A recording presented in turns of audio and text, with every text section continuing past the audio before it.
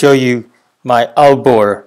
What does it look like? Because many of you probably don't even know what is an outboard. Outboard is an outboard motor, meaning it's a, a motor that can push the boat forward. It's basically an engine. Um, here is the uh, another look of it. So you know you connected it to the gas tank, and then it will run. So um, my new invention is this um, speed controller and uh, I'm gonna show you uh, this thing in a second which is this one.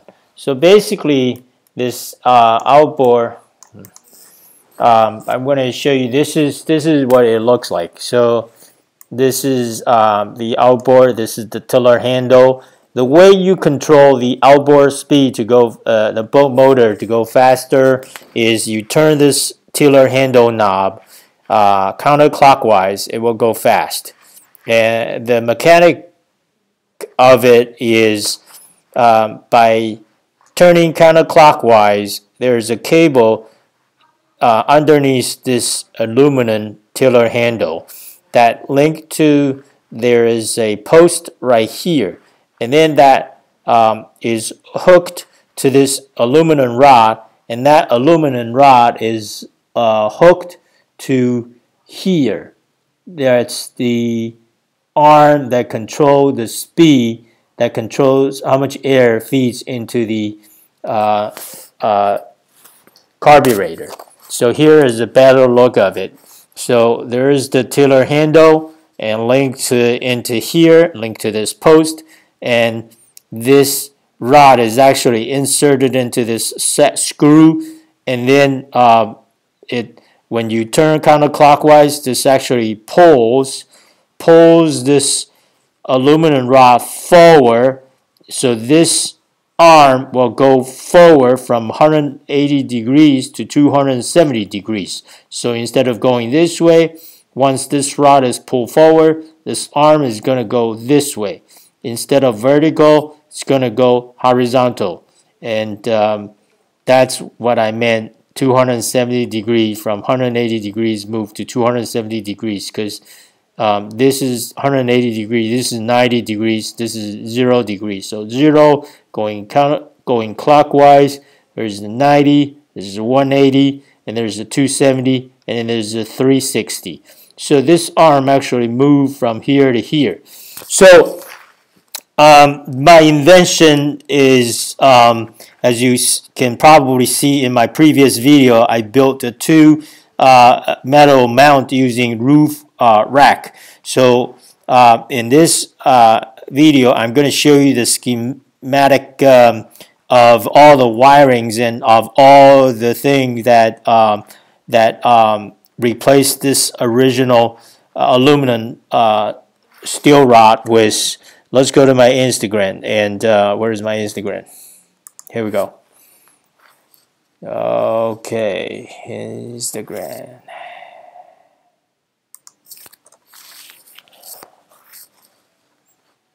Let's get it to Instagram.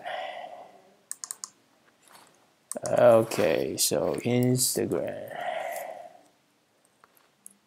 Instagram. And then NJ Fishing 11. So that's my Instagram account. There we go. So we go there. And so I'm using Quick Player. And I don't know why this thing is not uh, disappearing. But anyway, so this is the um, the picture I want to show you. Basically, this black box is what you saw earlier, which is the ignition coil. And here, as you can see, this link arm is over, um, where is it? This link arm is actually over here, okay? It's actually kind of blocked by my signal wire of this uh, um, digital motor, the HB servo motor, you know, so, and this link arm is the choke, you know, so I already removed this link arm, which is the link arm that uh, hook to this set hook and then uh, connected it to this throttle arm right here. Throttle arm is here. I don't know if you can see it. This is the throttle arm. So there's a hole here. that this original uh, aluminum rod actually hook into this thing here.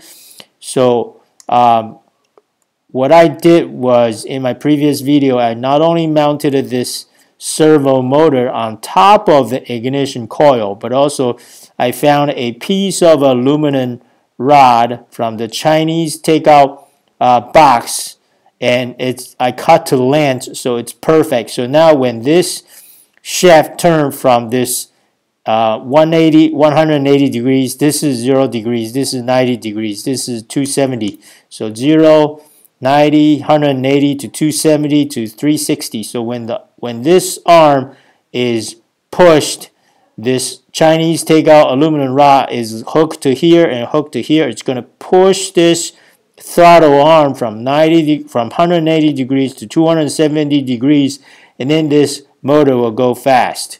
So let me uh, go out to the picture again to show you what I meant.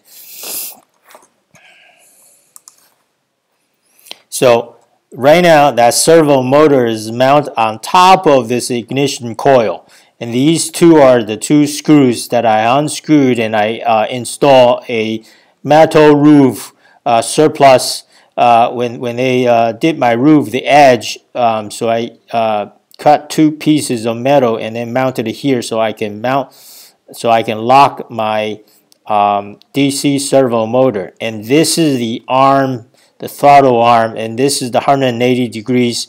When this original rod that's linked to this tiller handle, when you turn counterclockwise, it will pull this rod, uh, pull this arm forward to, so instead of vertical, it's going to turn to horizontal. So instead of using this rod, I actually disconnected it here because it's just a hook and uh, there's a hole. So I just pull this hook uh, steel rod out of there and put placed it outside in, but still inside the uh, outboard. So that that um, um, I actually have the Chinese takeout aluminum rod that I cut to length. So one end I uh, poked it in here, hooked it into here. The other end hooked it into that um, um, shaft of the DC motor that I just showed you before in my Instagram, which is this guy here. So one end I uh, hooked it into here. As you can see in my previous video, it actually popped. So what I'm going to show you next is I'm going to show you the schematic in my Instagram, which is this guy here. So this is the picture I'm going to show you where um, starts with this. This is servo motor mounted on top of that and the servo motor is controlled by this Arduino board. An Arduino board already pre-programmed with the knob codes compiled and uploaded into this board.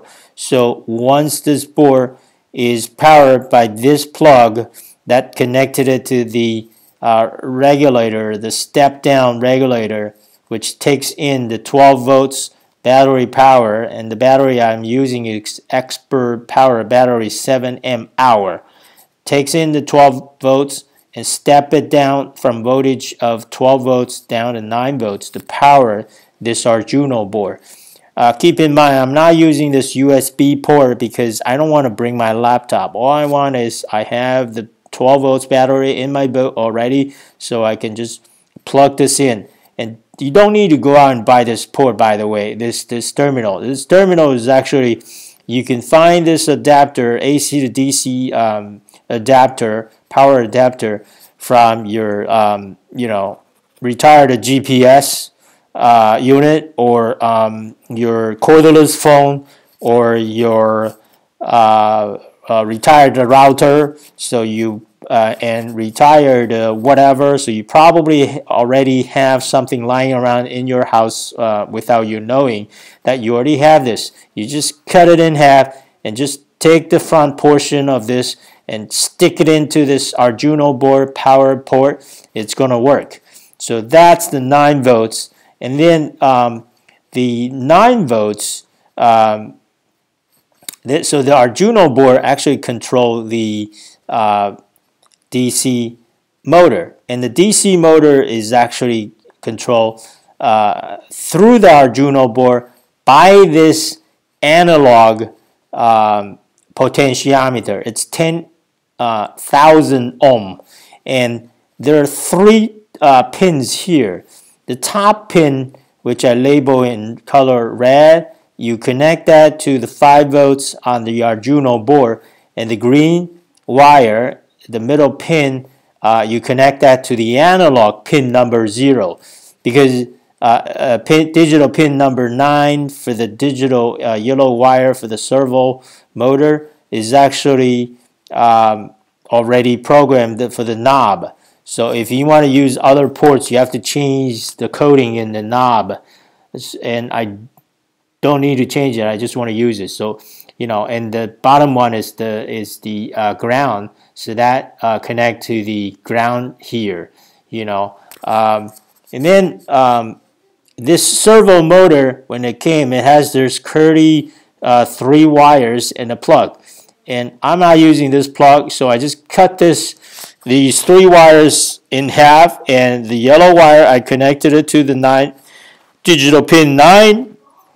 The black wire I connected it to this uh, second step down uh, voltage regulator. The part number is LM2596 and then uh, or the this this voltage step down converter is LM2596. I actually bought two of them.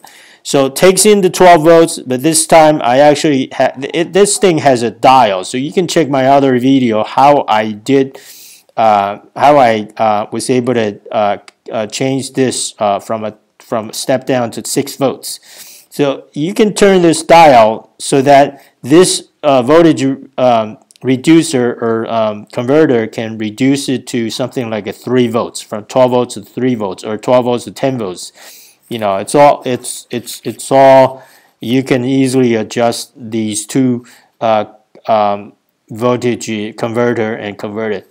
Anyway so um, the, the reason I want to extend this so that um, I can have the motor mounted inside the outboard but then this Arduino board and this potentiometer, I want them to be close to me when I'm driving the boat. So I actually have the lines extended all the way from the back where the motor is um, to the front or the center of the boat where I'm sitting down with the steering wheel and that's uh, what this is. So pretty uh, happy about this uh, thing that I remember, which is the aluminum rod that I that I, that's linking between the outboard uh, speed throttle arm and the servo motor shaft. It's a Chinese takeout paper box because you know. So otherwise, I don't. I don't. Um, I have to find something else. But you know, because I didn't. Uh, because I remembered it, I recycle this, and um, that's it, it's actually a very good thing. Because look, let me show you something here. Um, so as you can see, the original uh, aluminum rod is this one, which is much thicker than the um, Chinese takeout rod. Um, and uh, the Chinese takeout rod is actually uh, perfect. It's perfect in size. Let me go back to my Instagram to show you that. Um, so this is the one. So you can see uh, oops, this picture doesn't have it. Sorry. It's here. This one has it. It's right here. You know, I know the picture is kind of small. Let me see if I can uh, uh, zoom this a little bit. Yeah. See, that's bigger. So see if I can zoom that in again. Yeah. So here you can see that link rod. That link rod is uh, Chinese takeout rod, which is much thinner than the original link arm that's here. You know, so it's it's perfect. So anyway, this is the schematic uh, uh, that I want to show you, which is the analog and so forth, and how the two regulators so now I'm going to show you the parts, how much I spent on on this um, um, this uh, Arduino speed controller for outboard. So the first one is the Chinese takeout aluminum link rod, which is free. Um, and the second one is the adapter uh, port to power the Arduino. That's also free because you can find uh, you can find it on your house, uh, you know, callers, phone, uh, router, or old um, uh, boombox, music box. You know, that's a that's a that's a 12, 110 uh, volts or 20 volts to um, AC to DC adapter. And then the next thing I spent, this is the most expensive part of all, which is the $20 Hitec 485 HB servo motor. You can probably find it on eBay for cheaper than that, um, but I'm just giving you an uh, a, a, a, you know prevailing price. Arduino Uno board, you can probably find it for four bucks or even three on AliExpress.com or eBay. Um, you know, shipped from China. Amazon probably going to be going to cost you around ten dollars. And you need to buy some jump wires. You know, go on Amazon. You can probably find it for six dollars. But if you go on AliExpress or eBay, you can probably find it cheaper. And then um, you need two step down regulators, LM2596. They're about ten dollars for two of them. So it's you know pretty inexpensive and then the 10 ohm potentiometer, you know, five or six dollars, something like that. You only need one, and the 12 volts battery is is is free, or I already have it. And you do need a solder pin, which is um, you know twenty dollars. Solder pin, uh, twenty dollars, and the solder um, what do you um, the the solder which is twelve dollar. You want the thin one, um, and I um, have this lead-free solder um, the 0.6 mm millimeter uh, diameter. So, you know, that's all I spend. And, um, well, even though it's 84 bucks, um, you know, but it's really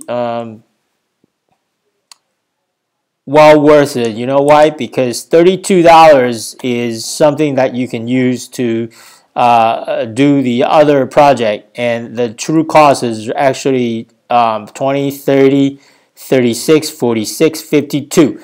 But like I said before, these things probably cost you way less because the servo motor may be 15 bucks, Arduino board 4 bucks, you're looking at $20 and the jump wires maybe 3 bucks or 4 bucks on AliExpress or 23 bucks.